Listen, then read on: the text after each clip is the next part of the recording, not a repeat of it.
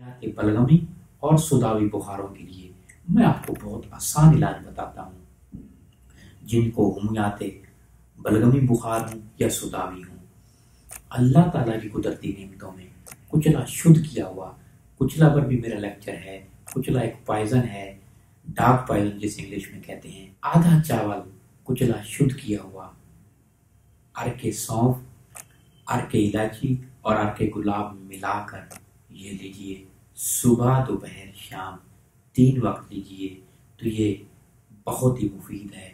सुतावी बुखारों के लिए और हमियात बलगमी बुखारों के लिए बहुत ही मुजरब इलाज है।